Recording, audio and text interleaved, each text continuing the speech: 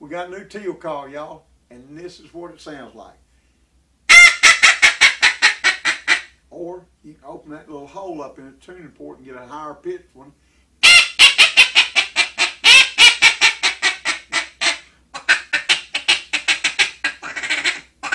There you go.